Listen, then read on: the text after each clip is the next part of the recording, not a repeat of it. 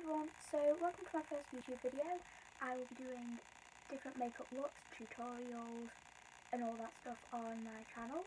Today I will be doing a sunset eye look. So the brushes that I'm using today are the Rio Eye and Face Brush Collection.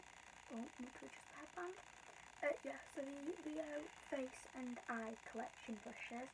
I'll tell you the numbers and the palette that I'm going to be using today is the W7 Vivid Punchy Pink palette. That's what it looks like. I will also be using the W7 Vivid Outrageous Orange and the Barry M Neon Brights eyeshadow palette and that's what it looks like. So it's a nice palette.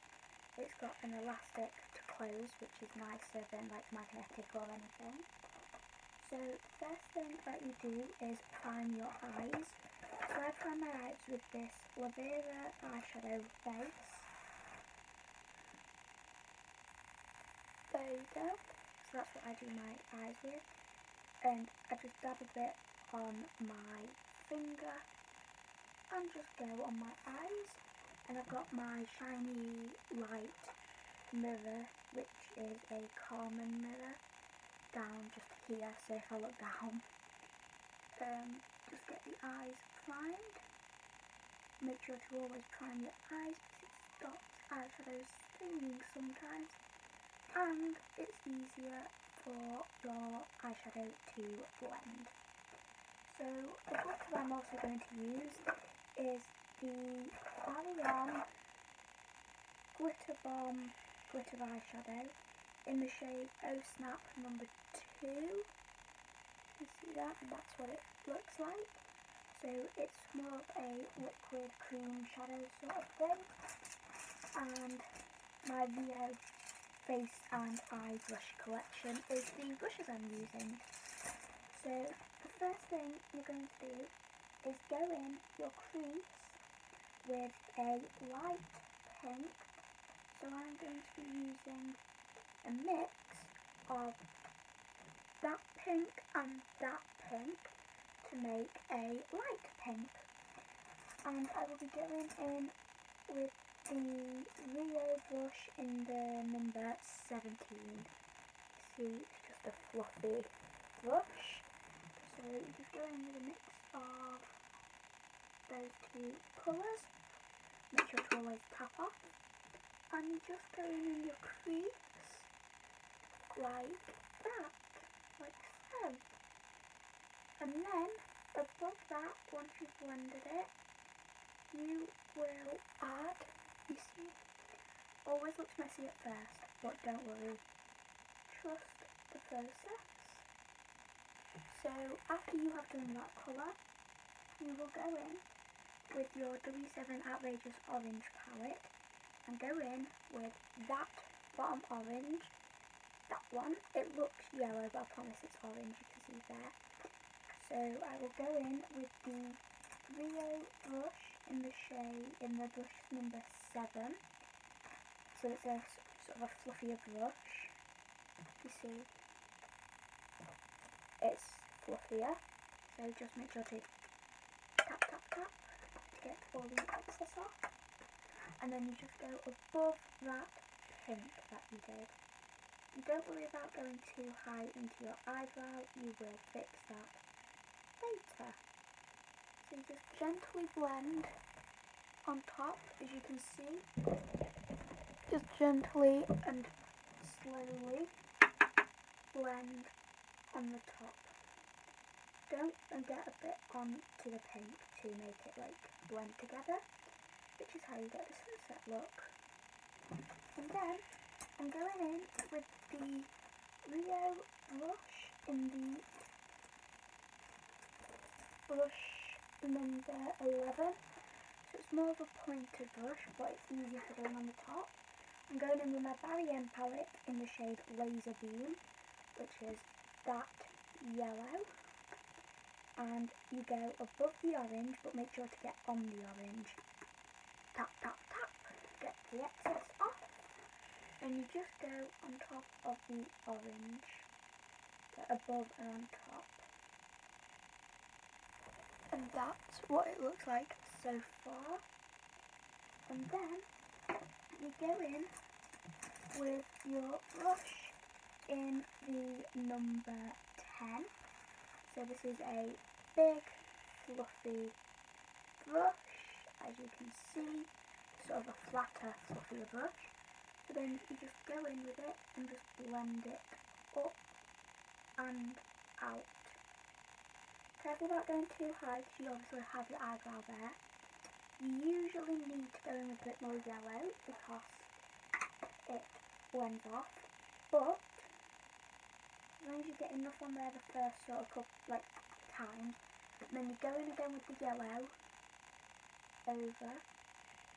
When like of the orange and the yellow together then you're done before you cut your crease.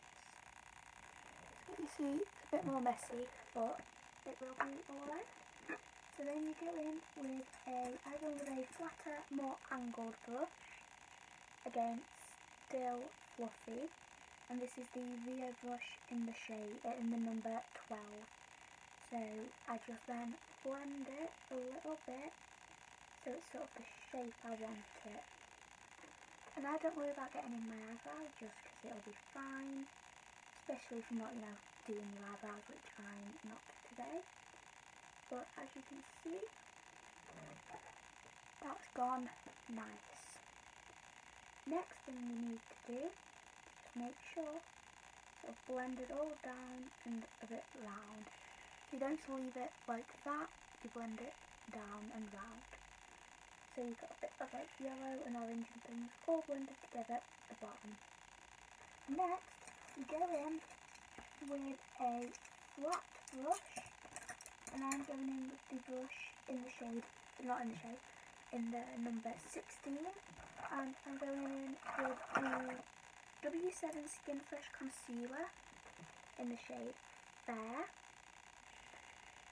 And I just pop a bit on my brush and I cut my crease. So I'm going with a tiny little bit, as you can see. Like size of a real tiny pea. And just sort of add a bit and then just sort of blend it out don't go too high. You need to remember you need to keep the pink. People also use micellar water and Q-tips, but I don't want to be wasting Q-tips every time I need to do a cut crease like this because it pollutes the environment. So just get that nice and cut crease.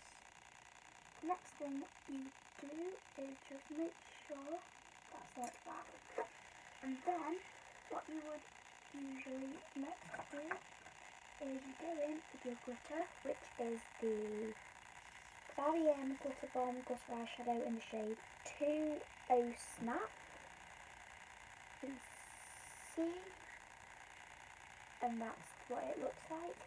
So then I go on a flat brush, which is the Rio 9. You can see it's like a very flat, thin brush and these Alright, so I'm going with the brush and the glitter onto my crease. And what I was saying is you can see the brush is like a lipstick applicator brush, which is nice to be able to reach the glitter.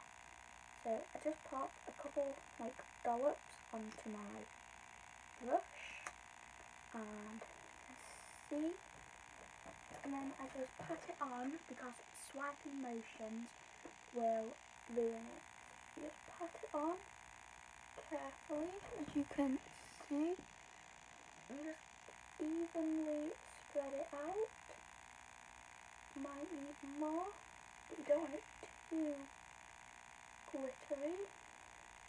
But you can have it as glittery you want, I don't it that glittery. as you can see that's nearly done. So I just work into the corner a tiny bit more. And I'm going to get a bit more because it isn't the greatest. So just get a bit of a smaller blob. And see. just work it into the corner. But always make sure to work it outwards as well. Oh. So there you go. There's the final look before I've added mascara and everything. So the next thing I do is I will add my mascara and curl my lashes. So I use this eyelash curler, which is just a purple nice sort of easy curler off Amazon. I got it was for like four quid. And then this W7 Foxy Lashes Big Foxy Lashes Mascara. So I'll curl my eyes, well my eyelashes. So just get them curling. And I know people say you can heat up that because it's then like, you know, how you do your hair straighteners or curlers. Yeah, so you can like heat it up, but I just can't be bothered. So I'll just go in with this brush and just add my mascara. I do have some false lashes, but I am still learning how to put them on. Oops, I'll clean that up in a minute. So yeah, I'm still learning how to put false eyelashes on. So I will just get that cleaned up. I will be back in a moment. So I'm back and I've done the other eye. So this is the nice look that I did. I added extra gold into the corners and a little bit more silver on both lids. So this is the final look and I'm going to finish it off completely with the Barry M Gloss Me Up Lip Gloss. And this is in the shade Sugar uh, 806. So I'll just add this lip gloss. It's a nice natural lip gloss. And it just gives your lips a nice shiny finish, as you can see. So that is the end look. Sorry, just taking thumbnail photos. So yes, I hope you enjoyed and if you saw this, can you please like, subscribe, turn notifications on and comment and share if possible, thank you. And follow my Instagram which is at makeup makeup with Cerys 1 and my TikTok is makeup with Cerys like this channel. So thank you all for watching and have a good day.